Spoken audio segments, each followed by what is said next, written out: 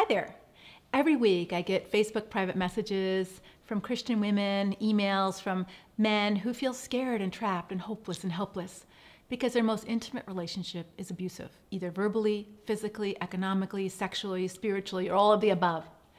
And the Bible has things to say about the way we treat people. And as Christians, we should all strive to be biblically wise in how we handle these difficult and painful family situations. So in this video, I want to share with you five biblical principles that will guide your thinking about abuse. And first, abuse is always sin, always sin. The scriptures are clear. Abuse of any kind, and abuse of authority or power, especially even God-given legitimate authority, is always sinful. Abuse of speech, behavior is never an acceptable way to communicate. Second, the Bible teaches that abuse is never an appropriate response when you're provoked.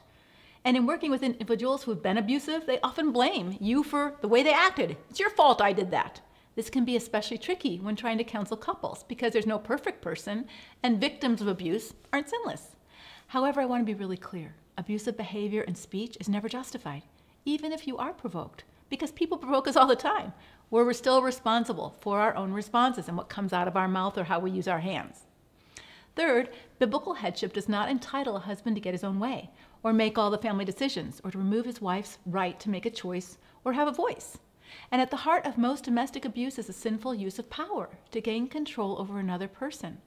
Biblical headship is described as sacrificial servanthood, not unlimited authority or power. And so let's not confuse terms. When a husband demands his own way, or tries to dominate his wife, or bully her into submission, it's not called biblical headship. It's called selfishness and abuse of power.